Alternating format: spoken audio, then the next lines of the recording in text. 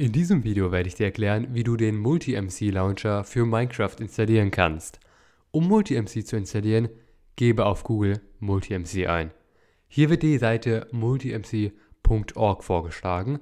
Klicke auf den Link und auf der Webseite von Multi-MC gibt es links die Auswahl Downloads. Klicke dort drauf und lade Multi-MC für dein Betriebssystem herunter und sobald Multi-MC heruntergeladen ist, klickst du unten rechts einfach auf den Pfeil und dann auf In-Ordner anzeigen. So kommst du zu dem Downloads-Ordner. Den Browser kannst du dann wieder schließen. Klicke im Downloads-Ordner einen Rechtsklick auf die ZIP-Datei von MultiMC, wähle dann die Option Extrahieren und klicke dann in dem Fenster, welches erscheint, nochmals auf Extrahieren. Es öffnet sich ein neuer Ordner. Den kannst du sofort wieder schließen. Du hast dann zwei Dateien, eine .zip-Datei und einen Ordner. Lösche die .zip-Datei und öffne den Ordner. In dem Ordner befindet sich dann der MultiMC-Ordner mit dem Launcher. Suche in dem Ordner die Datei multimc.exe und führe diese einfach aus. Hier erscheint dann eine Meldung, klicke einfach auf Mehr Info und dann auf Trotzdem ausführen. Es öffnet sich dann das Multi-MC Setup, wähle als ersten Schritt die Sprache und klicke auf Weiter. Im nächsten Schritt gibt es die Java-Version zur Auswahl. Wenn bei dir hier keine Java-Version ausgewählt sein sollte, so hellblau markiert hier, wie in meinem Fall, dann schau dir das Tutorial oben rechts an.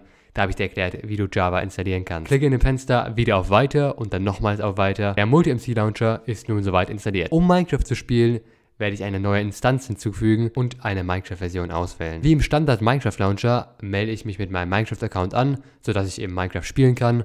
Wähle dort oben aus, mit welchem Account du Minecraft besitzt und logge dich dann mit der E-Mail und deinem Passwort ein. Du kannst auf Als Standard setzen klicken, dann wird der Minecraft-Account eben für jede Minecraft-Instanz verwendet. Schließe das Fenster und starte dann Minecraft. Jetzt kann es sein, dass diese Fehlermeldung auftaucht.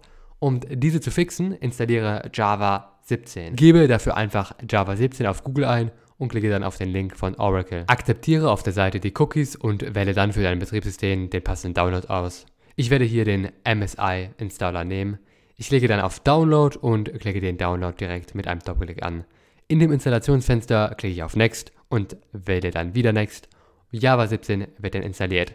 Daraufhin kannst du das Fenster schließen und den Modi-MC Launcher nochmal neu starten. Den Java 17 Installer kannst du wieder aus dem Downloads-Ordner löschen. Wenn du möchtest, kannst du den Multi-MC-Ordner umbenennen und zum Beispiel auf den Desktop ablegen. Beim Starten von Minecraft im Multi-MC-Launcher siehst du, dass Minecraft funktioniert. Ein praktischer Launcher meiner Meinung nach, so kannst du ihn installieren. Ciao!